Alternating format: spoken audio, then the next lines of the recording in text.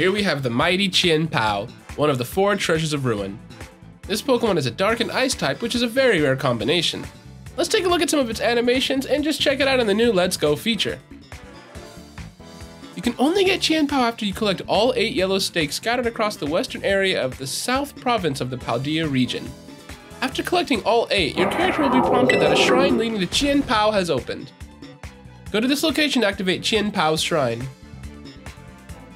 Chien-Pao's ability is called Sword of Ruin, where the power of the Pokemon's ruinous sword lowers the defense stat of all Pokemon except itself.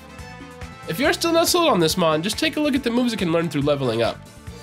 For more on Chien-Pao and all things Pokemon Scarlet and Violet, check out the wiki linked in the description below.